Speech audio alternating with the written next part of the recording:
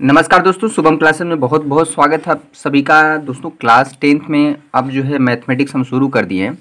चूँकि chapter one जो है काफ़ी प्रॉब्लम खड़ा करता है तो हम चाहते हैं कि चैप्टर टू, जो कि एक आसान चैप्टर है, जो कि आसानी से समझ में आ जाएगा। तो शुरुआत ही हम चाहते हैं कि थोड़ा सा ईजी चैप्टर से शुरू हो, ताकि आपको समझने में चैप्टर वन जो है उसमें जो वास्तविक संख्याएँ हैं, थोड़ा सा उसमें आपको प्रॉब्लम होती है तो हम चैप्टर टू से शुरू कर रहे हैं। तो इसमें बहुत ज़्यादा सवाल करने की ज़रूरत नहीं है, चैप्टर वन भी पढ़ाया जाएगा।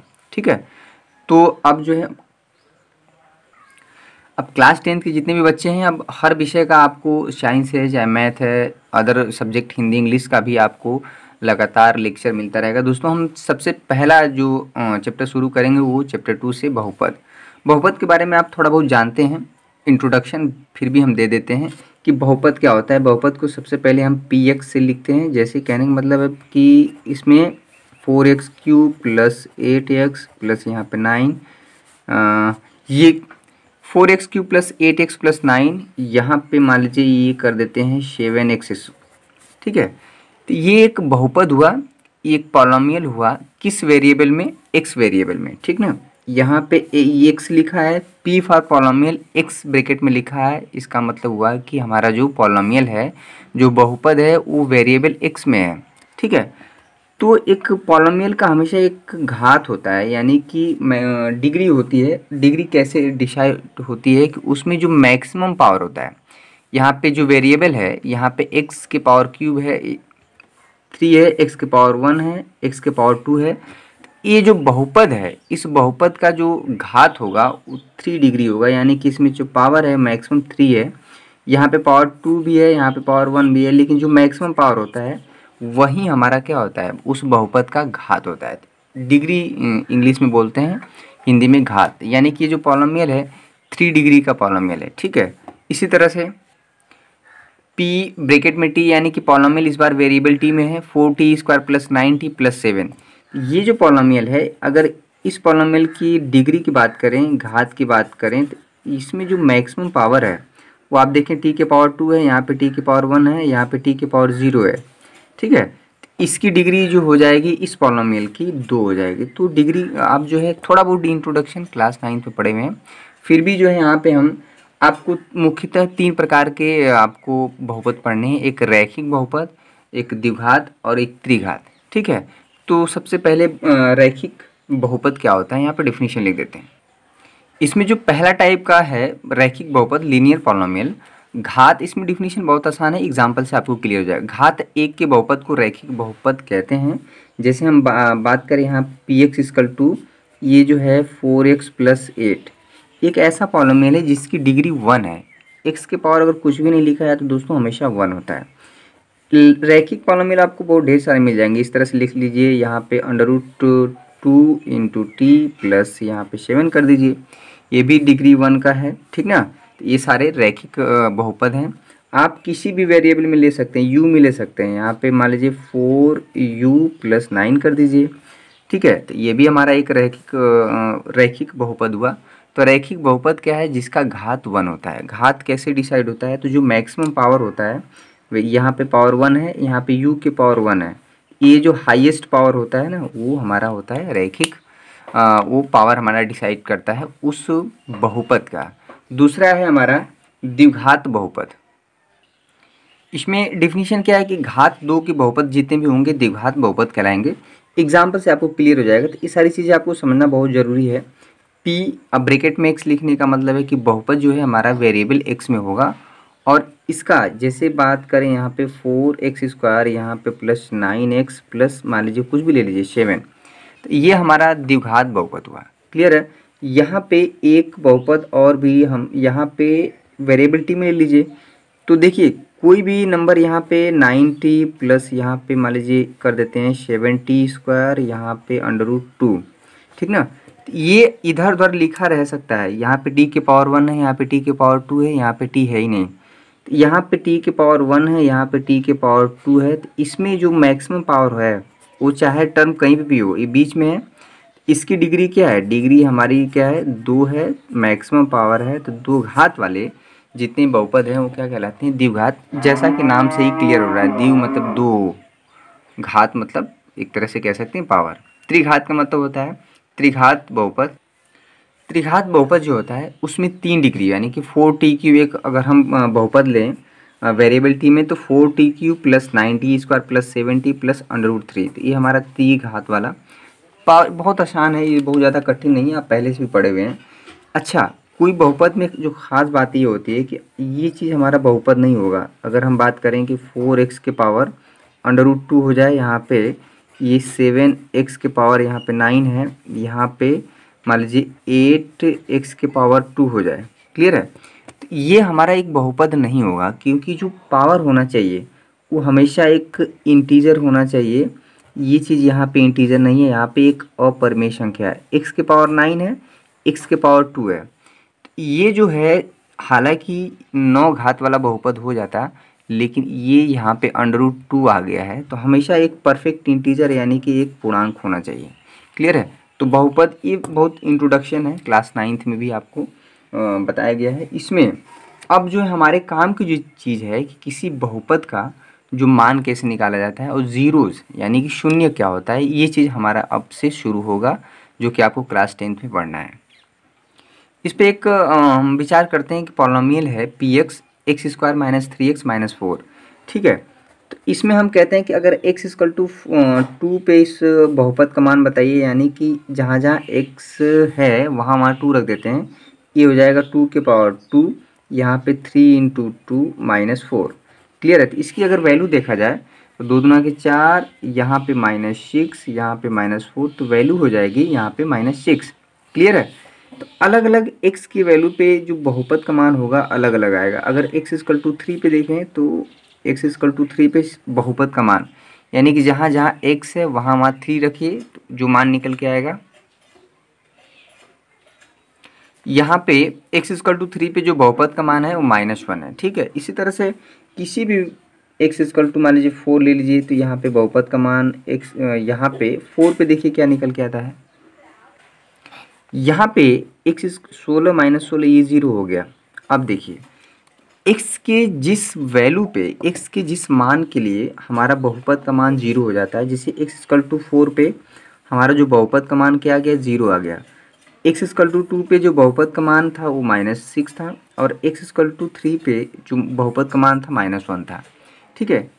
एक्स का वह मान जिसके लिए बहुपद का मान शून्य हो जाए ज़ीरो हो जाए, ये इस द्विघात बहुपद के लिए क्या कहलाता है? एक्स स्कल टू फोर क्या कहलाता है? शून्य कहलाता है, ज़ीरो कहलाता है, क्योंकि एक्स स्कल टू फोर ही इस बहुपद को क्या कर देता है? शून्य कर देता है, यानी कि एक्स स्कल टू फोर रखने पे यहाँ पे ज़ीरो हो जाएगा बहुपद का मान।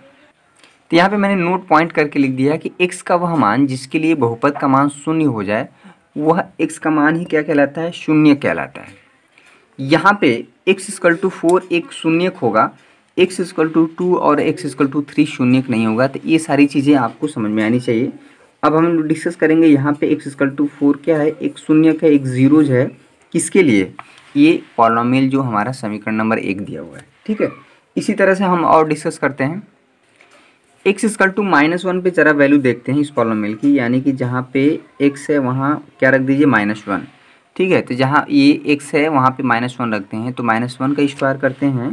दोस्तों अगर आप क्लास टेंथ में हैं तो अब जो है आप सतर्क हो जाइए, क्योंकि अब जो है आपको शुभम क्लासेस पे प्रतिदिन मैथमेटिक्स का लेक्चर मिलेगा और चैप्टर टू से हम शुरू किए हैं, क्योंकि चैप्टर वन से बहुत ही प्रॉब्लम होती है बच्चों को। हम चैप्टर वन छोड़ेंगे नहीं, ठीक है? तो आप थोड़ा सा आसान चैप्टर से लीजिए, क्योंकि शुरुआत थोड़ा सा हम चाह रहे हैं कि आप कंफर्टेबल जोन से पढ़ाई करें। पहले चैप्टर से परेशान हो जाएँगे तो आपको लगेगा कि अगर पहले चैप्टर में हालत है तो बाकी चैप्टर में क्या होगा? ऐसा नहीं है। यहाँ पे x equal to minus one पे अगर वैल्यू देखा जाए तो ये माइनस वन हो गया, ये प्लस थ्री और ये हो गया माइनस फोर तो यहाँ पे फिर से ज़ीरो आ गया। तो x equal to minus one पे भी जो पॉलोमिल की वैल्यू है, जो बहुपद का मान है, वो ज़ीरो आ गया है। यहाँ पे x equal to minus one भी एक क्या हो गया? शून्य होगा। तो एक्स इजकल टू फोर भी शून्य हो गया और x equal to minus one भी शून्य हो गया। अगर कोई भी बहुपद दो घात का है तो उसके दो शून्य होंगे। एक घात का है तो उसके एक शून्य होंगे और तीन घात का है तो उसके तीन शून्य होंगे। ये चीज़ आप जान लीजिए। तो यहाँ पे ये चूँकि द्विघात समीकरण था तो इसके दो शून्य का है, एक एक्स स्क्वल टू फोर और एक x equal to minus one. इसके अलावा कोई भी बच्चा जो है शून्य दूसरा निकाल दे, यानी कि एक्स का ऐसा मान ढूंढ लें, जहाँ पे कि ये बहुपद का मान ज़ीरो हो जाए तो ये ऐसा संभव नहीं है, क्योंकि ये प्रमेय है, एक थ्योरी है कि अगर द्विघात बहुपद है तो उसके दो हमारे शून्य होंगे। त्रिघात बहुपद है तो उसके तीन शून्य होंगे। चतुर्थ घात का बहुपद है तो उसके चार शून्य होंगे, उससे ज़्यादा नहीं होंगे। क्लियर है? अगर एक घात का बहुपद है तो उसके एक शून्य होंगे। देखिए, यहाँ पे लिख देते कि अगर एक घात बहुपद है तो उसके एक शून्य होंगे, ठीक है? अगर द्विघात बहुपद है तो उसके दो शून्य होंगे और त्रिघात बहुपद है तो उसके क्या होंगे? तीन शून्य होंगे। यही हमारा नेक्स्ट टॉपिक होगा कि किसी बहुपद, कोई बहुपद है, द्विघात बहुपद है, त्रिघात बहुपद है तो उसके शून्य कैसे ज्ञात करेंगे? ठीक है तो ये हमारा पूरा। तो अभी हमारा जो एक टॉपिक है कि किसी बहुपद के शून्यकों का ज्यामिति अर्थ क्या है? यानी कि ज्योमेट्रिकल मीनिंग क्या है? कि ग्राफ से कैसे निकालेंगे? कोई हमारा बहुपद दिया हुआ है तो बहुपद की शून्यकों ज्यामिति अर्थ का क्या मतलब है? कि जैसे हम एक रैखिक बहुपद दिया हुआ है सपोज़ करिए p x equal to four x plus nine ठीक है? तो अगर हम इसका पी एक्स को हम अगर हम नाम देते थे इसको बाद में हम दिया जाएगा वाई ठीक ना? ये समझिए कि पी एक्स हमारा क्या है? वाई है, ये फोर एक्स प्लस नाइन है, ये हमारा एक रैखिक बहुपद है क्लियर है? रैखिक बहुपद क्यों है? क्योंकि एक घात का है, ठीक है? तो यहाँ पे इसका अगर हम ग्राफ ड्रॉ करें ग्राफ कैसे ड्रॉ करते हैं? तो एक्स एक्सिस और वाई एक्सिस हम बना लेते हैं। आप कक्षा नौ से ही पढ़ते आए हैं। दोस्तों, करते क्या है कि हम एक डब्बा बनाते हैं। एक डब्बा हम बना लेते हैं। इसका ग्राफ ड्रॉ करना है, ठीक है? एक हम ग्राफ ड्रॉ करना है। इस पर आप वाई का मान, इस पर एक्स का मान। इसमें क्या करिए? इसमें जहाँ पे एक्स एक्सिस का मान निकालना है, एक्स एक्सिस पे सबको पता है कि वाई का मान ज़ीरो होता है, ठीक है? आप जब एक्स एक्सिस पे होते हैं, ये एक्स एक्सिस है, ये हमारा वाई एक्सिस है। तो जब आप एक्स एक्सिस पे होते हैं तो वाई का मान ज़ीरो होता है। वाई का मान ज़ीरो यहाँ पर रखिए। तो जो एक्स का मान निकल के आएगा एक्स का मान निकल के आएगा minus nine by four clear है?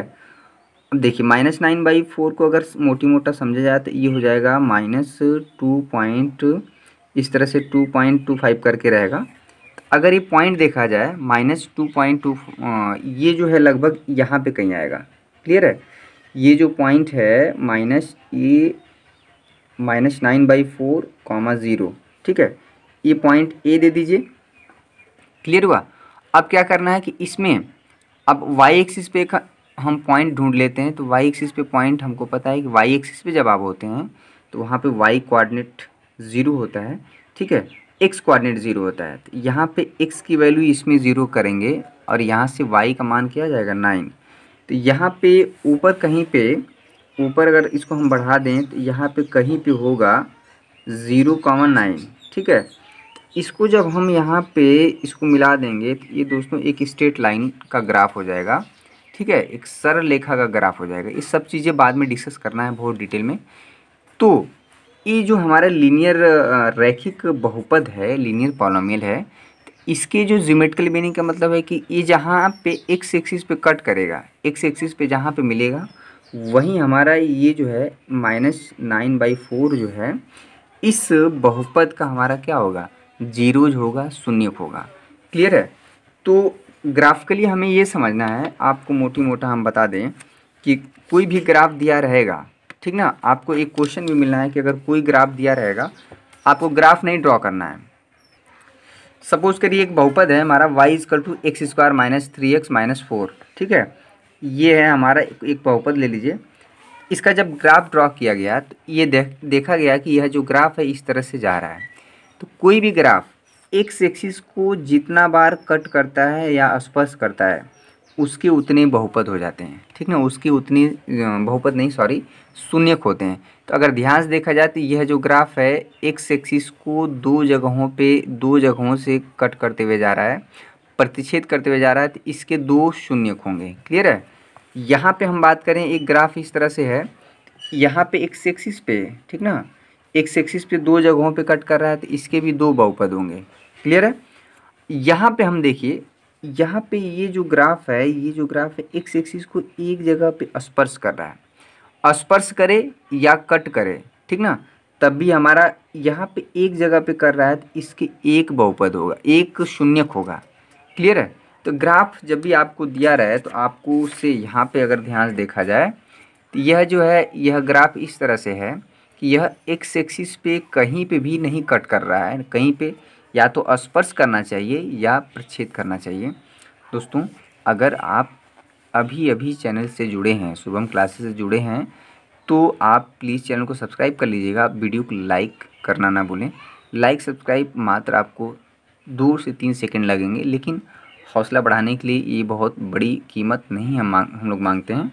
इससे अच्छा लगता है कि बच्चे, बच्चों को पसंद आ रहा है और हम लोग जो है, लगातार जो है पूरे साल जो है मेहनत करेंगे आपके साथ। और हम भी उम्मीद करते हैं कि आप हमारे साथ उतने ही तत्परता के साथ जो है आ, लगे रहेंगे।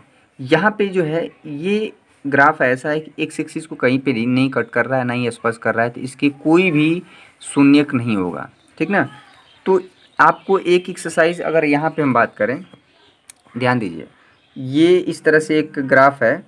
यहाँ पे देखिए एक जगह हो गया यहाँ पे दो जगह हो गया तीन जगह हो गया। इसका जो ग्राफ इस तरह से है कि ये जो है, इसके तीन शून्य होंगे, ठीक ना? तीन जीरोज होंगे। ये सारा चीज़ आपको करना है। तो इस तरह से जो प्रश्नावली टू पॉइंट वन है, अगर ध्यान से देखें, जो प्रश्नावली टू पॉइंट वन है, इसमें कुछ नहीं करना है। कह रहा है किसी बहुपद पी एक्स के लिए, यहाँ पर प्रश्नावली टू पॉइंट वन देखिए। जिन भी बच्चे के पास अगर बुक नहीं है तो यहाँ से स्क्रीन शॉट ले लीजिए, टू पॉइंट वन का। इसमें देखिए, ये छः क्वेश्चन है। इसमें कुछ नहीं करना है, देख के बस एक ही, ये क्वेश्चन ही है हमारा। उसके बाद जो है हमारा टू पॉइंट वन ख़त्म हो जाएगा। किसी बहुपद पी एक्स के लिए y equal to p x का ग्राफ नीचे दिया हुआ है। प्रत्येक स्थिति में पी एक्स के शून्यकों की संख्या ज्ञात कीजिए। यहाँ पे शून्यकों की संख्या देखा जाए तो देखिए, ये हमारा एक्स एक्सिस है, ये वाई एक्सिस है। ये हमारा जो बहुपद का ग्राफ है, ये एक्स एक्सिस पे कहीं पे भी कट कर नहीं रहा है। तो इसके एक भी शून्य नहीं होंगे, यानी कि इसके एक भी शून्य नहीं होंगे। यहाँ पे अगर देखा जाए क्वेश्चन नंबर दो, ये जो ग्राफ है, ये बहुपद का ग्राफ है तो यहाँ पे एक्स एक्सिस पे एक जगह पे कट कर रहा है तो इसके एक शून्य होंगे। क्लियर है? अब देखिए, यहाँ पे ये जो ग्राफ इस तरह से है कि यहाँ पे यहाँ पे और यहाँ पे। यहाँ पे तीन जगहों पे प्रतिषेध कर रहा है तो इसके तीन शून्य होंगे। बाकी आप इसी तरह से हर क्वेश्चन का जवाब आप कर ले जाइए, ठीक है? तो ये एक्सरसाइज जो है टू पॉइंट वन ख़त्म हो गया। इसमें कुछ करना नहीं था। ग्राफ को देख के बताना था कि इसके कितने शून्य होंगे। दोस्तों नेक्स्ट जो टॉपिक होगा कि किसी बहुपद के शून्यकों और गुणांकों में क्या संबंध होता है। बहुत ही इंटरेस्टिंग टॉपिक एकदम कह सकते हैं कि अगर सरल शब्दों में कहें तो ललन टॉप टॉपिक है। और ये जो है, अगले चैप्टर में भी हमारा काम आएगा कि किसी बहुपद के शून्यकों और गुणांकों में जो रिलेशन है, कैसे निकाला जाएगा। कि अगर कोई बहुपद दिया है तो कैसे निकाला जाएगा कि उसके शून्यक और उसमें जो गुणांक है, ये सारी चीज़ें हम डिस्कस करेंगे नेक्स्ट लेक्चर में। तो आज जो है आज का सत्र, आज का सेशन बस इतना ही था। एक तरह से कह सकते हैं कि बहुत ही आसान वे में हम लेके चले हैं। कोई भी बच्चे, किसी को भी अगर प्रॉब्लम हुई है तो कमेंट करके आप बताइए कि हाँ सर आप तेज़ पढ़ा रहे हैं या चीज़ें नहीं समझ में आ रही है। तो हम उसमें निश्चित रूप से सुधार करेंगे, आपको परेशान होने की आवश्यकता नहीं है। ठीक है? तो आज के लिए बस इतना ही। अगर आप चैनल पे फिर से हम एक बार कह रहे हैं कि अगर आप कुछ चैनल पे नए हैं तो चैनल को सब्सक्राइब ज़रूर कर लीजिए और बेल आइकन को भूल, दबाना ना भूलें। क्यों? क्यों उसका कारण भी है, क्योंकि जब आप वीडियो हमारा पड़ेगा तो आपको नोटिफिकेशन नहीं मिलेगा। वीडियो लाइव भी चलता है और साथ में जब लाइव ख़त्म हो जाता है तो वो यूट्यूब पर पड़ जाता है। ठीक है? तो इसलिए क्योंकि जब लाइव बच्चे पढ़ते हैं तो उसी समय बहुत बच्चे जुड़े रहते हैं तो समझ में आ जाती हैं चीज़ें। ठीक है? तो आज के लिए बस इतना ही। बहुत बहुत धन्यवाद। आपका दिन शुभ हो।